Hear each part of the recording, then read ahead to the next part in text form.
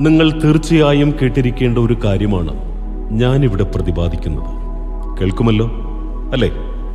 നിങ്ങൾ സ്വയം താരതമ്യം ചെയ്യരുത്. അങ്ങനെ ചെയ്താൽ നിങ്ങൾ ലോകത്തിലെ തന്നെ ഏറ്റവും ദുഃഖിതനായ വ്യക്തിയായി മാറും. അത്തരത്തിലൊരു കാര്യത്തെക്കുറിച്ചാണ് ഞാനിവിടെ പറയാൻ പോകുന്നത്. അസന്തുഷ്ടനായ ഒരു കാക്കയുടെ കഥയുണ്ട്. അത് നിങ്ങളുമായി ഞാൻ പങ്കിടുകയാണ്. ഈ കഥ നിങ്ങളുടെ ജീവിതത്തെ മാറ്റിമറിക്കുമെന്ന് ഞാൻ പ്രതീക്ഷിച്ചോട്ടെ. ഒരിടത്ത് ഒരു കാക്കയുണ്ടായിരുന്നു. അവന്റെ പ്രശ്നം മറ്റൊന്നുമല്ല അവൻ കറുത്തവൻ എന്നതാണ്. അവൻ ശരിക്കും ദുഃഖിതനും അസന്തുഷ്ടനുമായിരുന്നു. ഒരു ദിവസം അവൻ കരഞ്ഞുകൊണ്ടിരിക്കുന്നത് ഒരു സന്യാസി കണ്ടു. ആ സന്യാസി കാക്കയോട് ചോദിച്ചു നീ എന്തിനാണ് കരയുന്നത്? കാക്ക പറഞ്ഞു കരയാതെ ഞാൻ എന്തു ചെയ്യും? ഞാൻ ജീവിക്കുന്നത് ഒരു ജീവിതമാണ്. ഈ കറുപ്പ് ഒരു നിറമാണ്. കറുപ്പിനെ ആരും ഇഷ്ടപ്പെടുന്നില്ല. അതുകൊണ്ട് എന്നെയും ആരും ഇഷ്ടപ്പെടുന്നില്ല. എന്നെ വളർത്തുപക്ഷിയായി വളർത്താൻ ആരും ഇഷ്ടപ്പെടുന്നില്ല. ആരെങ്കിലും എന്നെ വളർത്തുപക്ഷിയായി വളർത്തുന്നത് സ്വാമി കണ്ടിട്ടുണ്ടോ. ആരും എനിക്ക് ഭക്ഷണം നൽകുന്നില്ല. ഞാൻ എന്റെ ഭൂരിഭാഗം സമയവും ചവറ്റുകുട്ടയിലാണ് ചെലവഴിക്കുന്നത്. ദൈവം എന്നെ ഒരു കാക്കയാക്കി. അതിനാൽ ഞാൻ എന്റെ ജീവിതത്തെ ഏറെ വെറുക്കുന്നു. സന്യാസി പറഞ്ഞു നിനക്ക് വീണ്ടും ഒരവസരം ലഭിക്കുകയാണെങ്കിൽ നീ ഏത് ജീവിയാകാനാണ് ആഗ്രഹിക്കുന്നത്? അങ്ങനെ നിനക്കൊരു ആഗ്രഹമുണ്ടെങ്കിൽ അത് ഞാൻ നിറവേറ്റി തരും കാക്ക പറഞ്ഞു എനിക്ക് വീണ്ടും അങ്ങനെ ഒരു അവസരം ലഭിക്കുകയാണെങ്കിൽ ഞാനൊരു വെളുത്ത ഹംസമാകാൻ ആഗ്രഹിക്കുന്നു. എന്തൊരു ഭംഗിയുള്ള നിറം വെളുപ്പ് സമാധാനത്തിന്റെ അടയാളം. ശരി ഞാൻ നിന്നെ ഒരു ഹംസമാക്കും. ഉറപ്പ്. സന്യാസി പറഞ്ഞു. എന്നാൽ അതിനു മുമ്പ് നീ ഒരു പ്രാവശ്യമെങ്കിലും ഒരു ഹംസത്തെ പോയി കാണണം. അത് കേട്ട കാക്ക ഒരു ഹംസത്തെ പോയി കണ്ടു. കൊള്ളാം സഹോദര എന്തൊരു നിറമാണ് ദൈവം നിനക്ക് തന്നത്. നീ ഒരു അത്ഭുതം തന്നെയാണ്.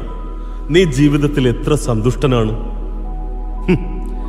ഞാൻ സന്തുഷ്ടനെന്ന് നിന്നോട് ആരാ പറഞ്ഞത്?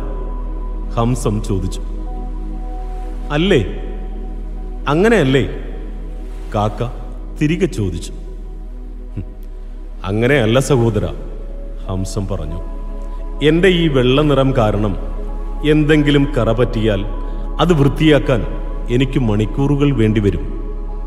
നിങ്ങളെയും വിഷമിപ്പിക്കുന്നത് യഥാർത്ഥത്തിൽ ഒരു നിറമാണ് അല്ലേ? വെളുപ്പ്. അതിനാൽ നിങ്ങൾ സന്തുഷ്ടനല്ല എന്നാണോ കാക്ക ചോദിച്ചു. അതെ ഞാനും എന്റെ വർഗവും അതിൽ സന്തുഷ്ടരല്ല ഹംസം മറുപടി പറഞ്ഞു. പിന്നെ അവർ രണ്ടുപേരും തിരികെ സന്യാസിയുടെ അടുത്തേക്ക് മടങ്ങി വന്നു. അപ്പോൾ ഹംസം സന്യാസിയോട് പറഞ്ഞു എനിക്കൊരവസരം നൽകാമോ? സന്യാസി ചോദിച്ചു നീ എന്താണ് ആകാൻ ആഗ്രഹിക്കുന്നത്? ഹംസം പറഞ്ഞു എന്നെ ഒരു തത്തയാക്കാമോ? എന്തൊരു നിറമാണതിന്? എന്തൊരു വർണ സംയോജനം പച്ചയും ചുവപ്പും അതല്ലേ തത്തമ്മയ്ക്കുള്ളത്? ആളുകൾ തത്തകളെ വളർത്താനായി ഇഷ്ടപ്പെടുന്നു. തത്തകൾക്ക് സംസാരിക്കാനും കഴിയും. അതിനാൽ എന്നെ ഒരു തത്തയാക്കാമോ? സന്യാസി പറഞ്ഞു നിന്നെ ഞാൻ തത്തയാക്കാം. എന്നാൽ അതിനു മുമ്പ് നീ ഒരു തത്തയുടെ അടുക്കൽ ചെന്ന് ഒരു പ്രാവശ്യം അവനെ കാണണം. ഇത് കേട്ട ഹംസവും കാക്കയും തത്തയെ അന്വേഷിച്ച് കാട്ടിലേക്ക് പോയി. എന്നാൽ അവർ ഒത്തിരി അലഞ്ഞിട്ടും തത്തയെ കാണാൻ കഴിഞ്ഞില്ല. വളരെയധികം ശ്രമിച്ച ശേഷം അവർ ഒരു തത്തയെ കണ്ടെത്തി. തത്തയോട് പറഞ്ഞു വാവ് നീ എത്ര ഭാഗ്യവാനാണ്. എന്തൊരു നിറം എന്തൊരു ഭംഗി എന്തൊരു അത്ഭുതം. ആളുകൾ നിനക്ക് പണം നൽകുന്നു അവർ നിനക്ക് പേരിടുന്നു. ജീവിതത്തിൽ നെയ്യും നിന്റെ വർഗവും എത്ര സന്തുഷ്ടരാണ് അല്ലേ? നിങ്ങളുടെ ജീവിതം എത്ര അത്ഭുതകരമാണ്.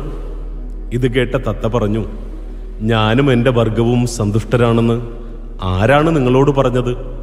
സംശയം കൊണ്ട് ഹംസൻ ചോദിച്ചു. അങ്ങനെയല്ലേ തത്തമ്മേ? പിന്നെ എന്താണ് നിങ്ങളെ വിഷമിപ്പിക്കുന്നത്? തത്ത പറഞ്ഞു പ്രശ്നം എന്റെ നിറം തന്നെയാണ്. ഇത് ശരിക്കും ഒരു മനോഹരമായ നിറമാണ്. ഇത് കാട് ഇല മരം എന്നിവയ്ക്ക് തുല്യമാണ്. നോക്കൂ നിങ്ങൾ വളരെ നേരമായി എന്നെ തിരക്കുകയായിരുന്നു.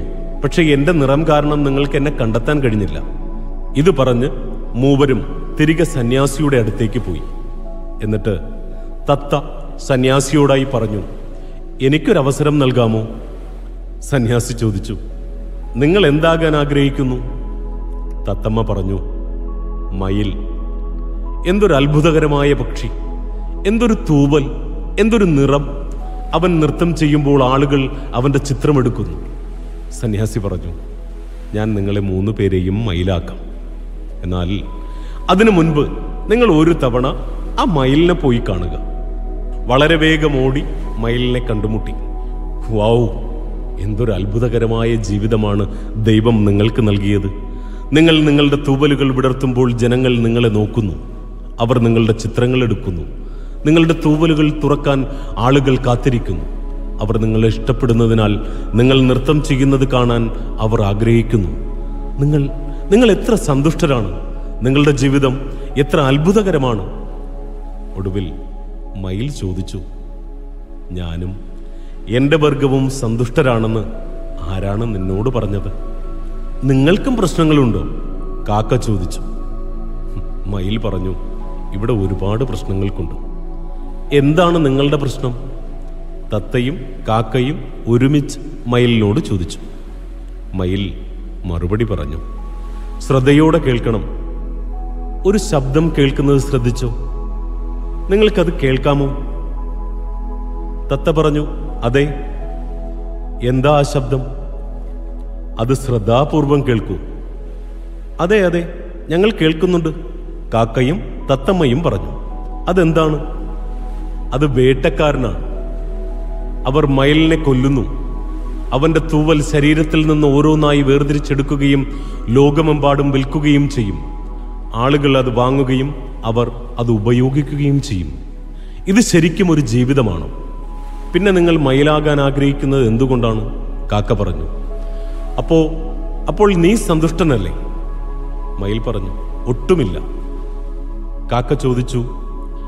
അപ്പോൾ നിങ്ങളുടെ അഭിപ്രായത്തിൽ ഞങ്ങൾ എന്തായി തീരണം ലോകത്തിലെ ഏറ്റവും സന്തുഷ്ടനായ ജീവി ആരാണ്? മയിൽ കാക്കയോട് പറഞ്ഞു നീ. നീയാണ് ലോകത്തിലെ ഏറ്റവും സന്തുഷ്ടനായ ജീവി. കാക്ക ചോദിച്ചു ഞാനോ? ഈ ലോകത്തിൽ ഞാൻ എങ്ങനെ സന്തുഷ്ടനായിരിക്കും? മയിൽ കാക്കയോട് ചോദിച്ചു നിങ്ങൾ ചിക്കൻ ബർഗറിനെ കുറിച്ച് കേട്ടിട്ടുണ്ടോ? ഉണ്ട് കാക്ക പറഞ്ഞു നിങ്ങൾ ചിക്കൻ സാൻഡ്വിച്ചിനെ കുറിച്ച് കേട്ടിട്ടുണ്ടോ? ഉണ്ട് കാക്ക പറഞ്ഞു എന്നാൽ നിങ്ങൾ കാക്ക ബർഗറിനെ കുറിച്ചോ കാക്ക സാൻഡ്വിച്ചിനെ കുറിച്ചോ കേട്ടിട്ടുണ്ടോ? ഇല്ല കാക്ക പറഞ്ഞു. കാക്കയുടെ തൂവലുകളോ മാംസങ്ങളോ വിൽക്കാൻ ആരെയെങ്കിലും നിങ്ങൾ കണ്ടിട്ടുണ്ടോ? ഇല്ല നിങ്ങൾക്ക് എന്തെങ്കിലും അപകടമുണ്ടോ? ആരെങ്കിലും നിങ്ങളെ വേട്ടയാടുന്നുണ്ടോ? നിങ്ങൾക്ക് ആരോടെങ്കിലും പ്രശ്നമുണ്ടോ? നിങ്ങളുമായി ആർക്കെങ്കിലും പ്രശ്നമുണ്ടോ? കാക്ക എല്ലാം കേട്ടിട്ട് ഇല്ല എന്ന ഉത്തരം നൽകി. അപ്പോൾ ആരാണ് മഹത്തായ ജീവിതം നയിക്കുന്നത്? നിങ്ങളോ ഞാനോ. ലോകത്തിലെ ഏറ്റവും സന്തോഷമുള്ള പക്ഷി ആരാണ്? അത് നിങ്ങളാണ് സഹോദര. നിങ്ങളാണ്. ഞങ്ങൾക്കൊരു ഉറപ്പുമില്ല അടുത്ത ദിവസം ഞങ്ങൾ ഉണരുമോ ഇല്ലയോ എന്ന്. അതിനാൽ നിങ്ങൾ ആരാണെങ്കിലും നിങ്ങൾ എവിടെയായിരുന്നാലും നിങ്ങൾ നിങ്ങളെ എങ്ങനെ കാണുന്നു? നിങ്ങൾക്കുള്ളത് മഹത്തരമാണ്. ജീവിതത്തിൽ ഒരിക്കലും നിങ്ങളെ മറ്റാരുമായും താരതമ്യം ചെയ്യരുത്. നിന്നേക്കാൾ നല്ലവൻ ഈ ലോകത്ത് ഈ ഭൂമിയിൽ ആരുമില്ല. നിങ്ങളെപ്പോലെ മറ്റൊരാളെ ദൈവം സൃഷ്ടിച്ചിട്ടുമില്ല. നിങ്ങൾ അതുല്യരാണ്. വിശ്വസിക്കുക. നിങ്ങൾ ഇവിടെ ചെയ്യുന്നത് നിങ്ങൾക്ക് മാത്രമേ ചെയ്യാൻ കഴിയൂ. നിങ്ങൾ ഈ ലോകത്തിൽ സ്വാധീനം ചെലുത്തുകയാണ്. നാം എല്ലാവരും ഓരോരുത്തരും ഓരോ അത്ഭുതങ്ങളാണ്. ഒരു വലിയ അത്ഭുതം.